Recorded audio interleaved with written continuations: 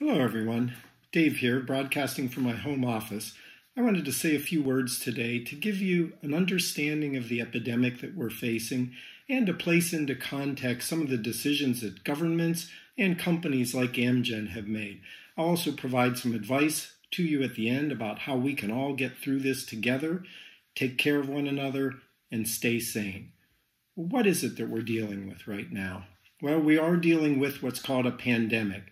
That's the spread of a new infectious agent, in this case, a new coronavirus, all around the world.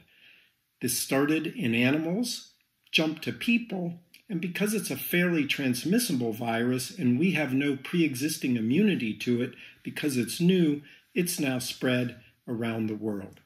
Well, why are governments and companies making some of the drastic decisions that they've made? Well, here's where I want to introduce the concept of bending the curve.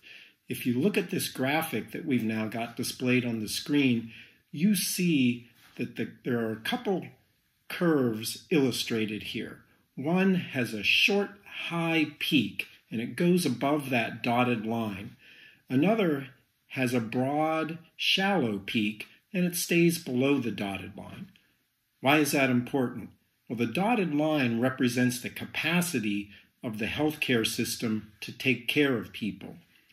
We want to avoid being in that short, high peak because that overwhelms the healthcare system. We want to bend the curve through our actions and move to the shallow, broad peak. That's why governments and others are taking extreme measures. Well, if we shift from that graphic, let's ask the question what are those extreme measures? First, social distancing. That's why governments have locked down cities and, in some cases, whole countries. The idea is to keep people apart, slow the transmission of the virus, and bend the curve to that shallow, flat, broad version.